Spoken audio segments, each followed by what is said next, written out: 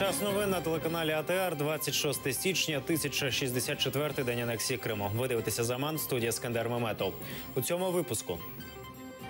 У Криму почалася нова хвиля репресій.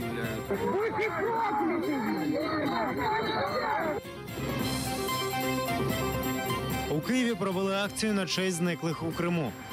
зникають насправді більше людей ніж е, ті, про кого ми знаємо.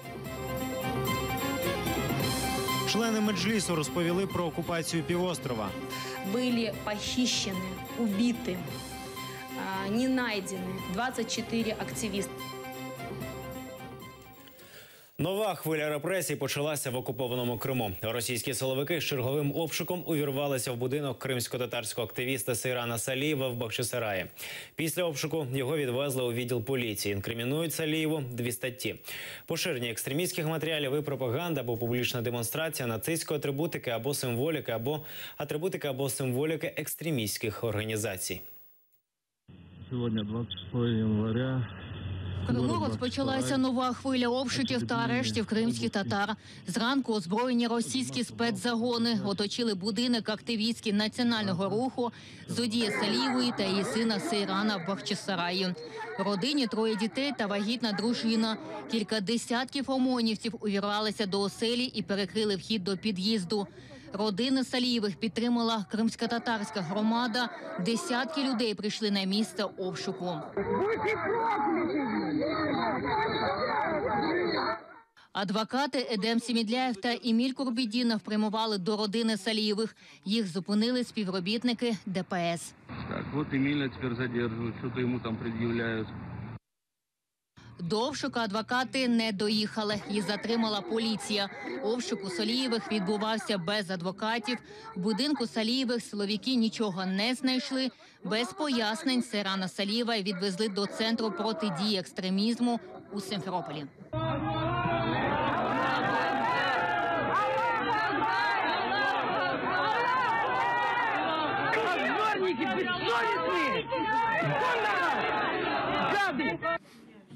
Під час обшуку родини Салієвих вилучили мобільний телефон, шукали релігійну літературу, яка, за словами силовиків, може бути пов'язана з ІГІЛ та Хізбу Тахрір. Співробітники ФСБ прийшли зі своїми понятими, розповідала дружина Сейрана. С каким вообще вы намерением пришли? А он говорит, мы так боремся с врагами государства. А я говорю, вы доказали, что мы враги государства? Вы только пришли.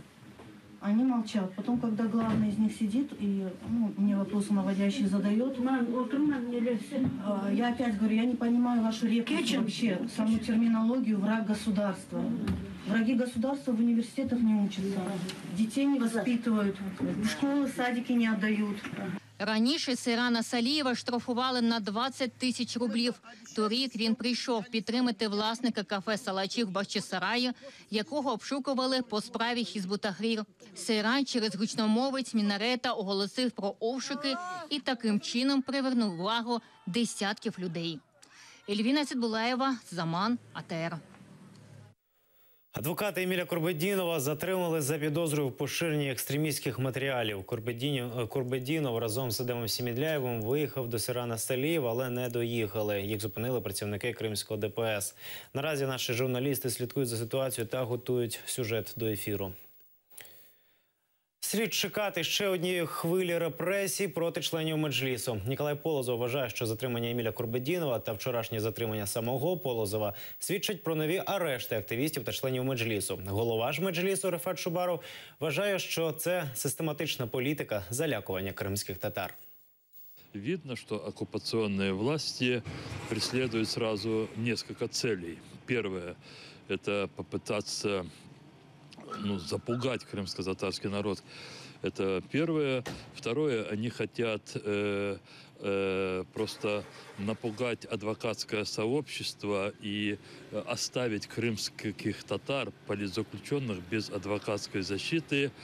Ну и, разумеется, они так мстят. А, Я не исключаю, что в отношении Эмиля а, в конечном счете могут быть а, возбуждено уголовное дело. Все это происходит на фоне абсолютного молчания со стороны Федеральной палаты адвокатов, адвокатского сообщества, что, безусловно, развязывает руки российским силовикам.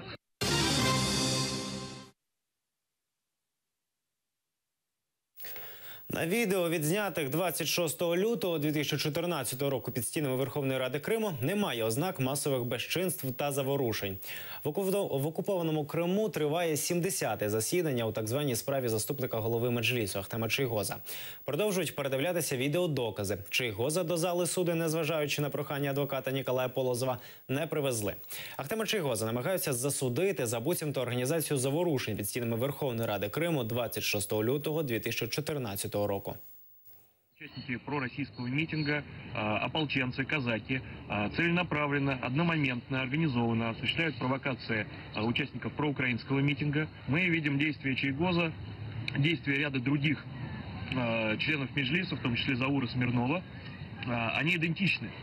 Непонятно, почему на скамье подсудимых при одинаковых действиях находится только один Ахтем Чайгоз. Отсутствуют какие-либо признаки массовых беспорядков, отсутствуют какие-либо а, признаки наличия свидетеля обвинения Иваза Умерова.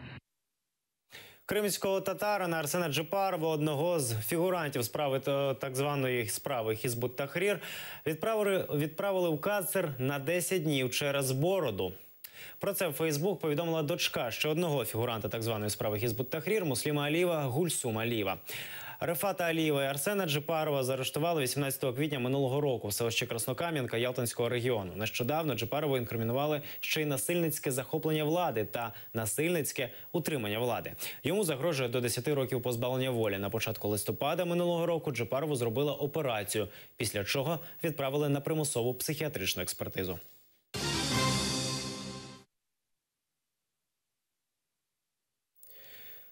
Хай живе берег турецький, прихильник кримської весни, що готував бойових левів на захист руського міра на півострові Олег Зубков.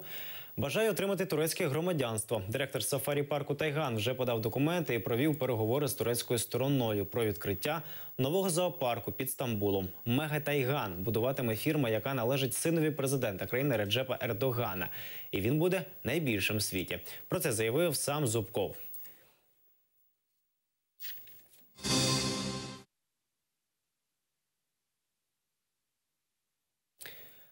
Знайти і врятувати активісти Кримсосу знову вийшли до стін російського посольства в Києві, аби нагадати про долю зниклих в Криму людей. Цьогоріч список зниклих поповнився ще двома прізвищами. На контур Криму активісти кріплять таблички з прізвищами зниклих на півострові. Серед них автомайданівці, що зникли навесні 14-го, Іван Бондарей, Валерій Ващук та Василий Черниш. Співзасновники Кримської організації українського дому Тимур Жаймарданов і Сіран Зенідінов. Це син та племінник кримсько-татарського правозахисника Абдурішита Джипарова Іслям Джипаров і Джевдєт Іслямов. Це член виконкому Всесвітнього конгресу кримських татар Ірвін Ібрагімов. на території Криму проводяться, е, зникають насправді більше людей, ніж е, ті, про кого ми знаємо. Зараз ми не знаємо про те, де знаходиться 15 людей. Загалом е, на, території Криму за період окупації зникло більше ніж 38 людей. Син Петра Виговського Валентин у березні 14-го два з половиною тижні вважався зниклим безвісті. Його потім вдалося знайти в Сімферопольській в'язниці. Валентина звинуватили у шпигунстві і засудили на 11 років. Країну, на яку він шпигував, е, нібито не встановили. Е, Сама справа була закрита повністю. На суді не був ніхто присутній ні з нашої влади, ні, ні з родичів. Так що про саму суть справи, що судили, присудили йому, що винувачували конкретно, крім номера статті, ми теж до цього часу нічого не знаємо. Після листування з прокуратури Російської Федерації Кримсос вдалося отримати інформацію про те, як розслідуються справи зниклих.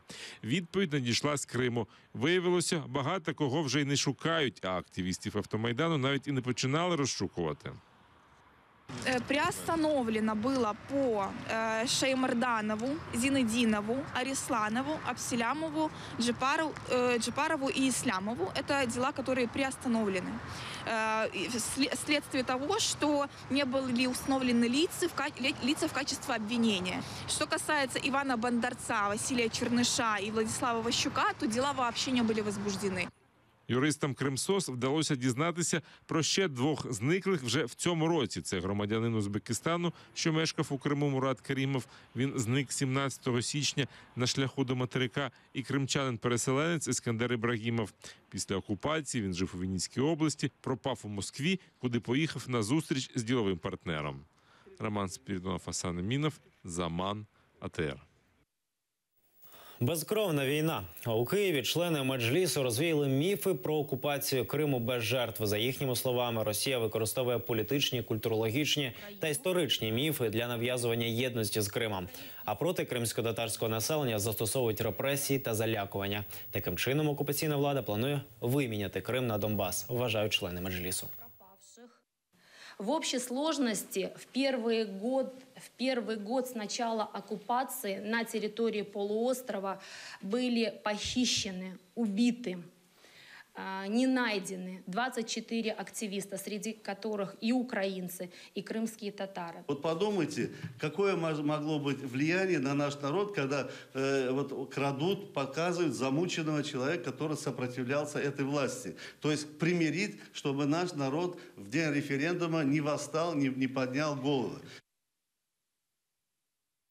Ветерани АТО почали блокаду торгівлі з окупованим Донбасом. Це вже третій етап акції по блокуванню шляхів постачання промислових товарів. Про це повідомляє штаб блокади торгівлі з, окупон- з окупантами у Фейсбук. Наразі звели першу бойову позицію. Назвали Редут Богдана. Мета ветеранів припинити бізнес з окупованими територіями, зокрема залізничними шляхами. Активісти стверджують, що держава не докладає достатньо зусиль для боротьби з цими поставками, тому ветерани самі змушені діяти. Разом з військовими участь у беруть кілька нардепів, серед яких Володимир Парасюк. Ну, ветерани АТО зараз мобілізовуються, з'їжджаються сюди е, в зону проведення терористичної операції, будуть створені мобільні штаби, і тому ну якби ця акція не буде мати там один день чи два. е, В часі, а вона буде довгострокова, поки це все не припиниться, поки не, не перестануть тут займатися такими речами. Адвоката Еміля Корбедінова сьогодні затримали за підозрою в розповсюдженні екстремістських матеріалів. За хронікою подій спостерігали наші журналісти. Прошу до уваги сюжет. Еміля Курбідінова і Дема Сімідляєва затримали озброєні люди в масках. Вони під'їжджали до будинку свого підзахисного Салієва в Бахчисараї, у якого зранку силовики проводили обшук. Приехали в масках. Два сотрудника в масках направляются. Я думаю, сейчас будет э, попытаются з- э, задерживать Эдема Семедляева. Я Центр противодействия экстремизму. Так, вот Эмиля теперь задерживают, что-то ему там предъявляют. Самедляєва відпустили, а Курбідінова силовики забрали до центру протидії екстремізму, порушили адміністративну справу, закидають поширення екстремістських матеріалів. Его обвиняют э, в совершении правонарушений. Публичные призывы, распространение информации э, экстремистской направленности. Максимальные шансы предусматривает административный арест до 15 суток. Еміля Курбідінова судять за поширення відео чотирьохрічної давності у Фейсбук. Тоді півострів ще був під контролем України. Поки адвоката тримали у центрі Е, його будинок обшукали озброєні спецпризначенці. За цим спостерігала дружина адвоката, двоє малолітніх дітей та літня мати, у якої підскочив тиск. У женщины сердце больное. У нее... Ну не ругайте женщину. Ребята, скорую вызовите, пожалуйста. Вызывайте скорую. Обшук тривав кілька годин. Силовики додому Курбідінова підігнали два автозаки. Адвоката Джеміля Тємішева, який захищає права Курбідінова, силовики тримали за дверима квартири. Люди требуют, чтобы запустили адвоката. Я здесь стою перед дверями, не дают нам возможность туда пройти. Обшук провели і в офісі Курбідінова, де він працює зі своїм партнером Едемом Цемедляєвим. Обыск закончился, вы видите, что произошло, все перерыли, изъяли всю оргтехнику, э, некоторые журналы. Ельвіна Сідбулаєва, Шевкет Наматулаєв, Заман, АТР. Це всі новини на цей час. За 15 хвилин на телеканалі АТР почнеться пряма студія з приводу сьогоднішніх репресій в Криму. Будьте за ТР. До побачення.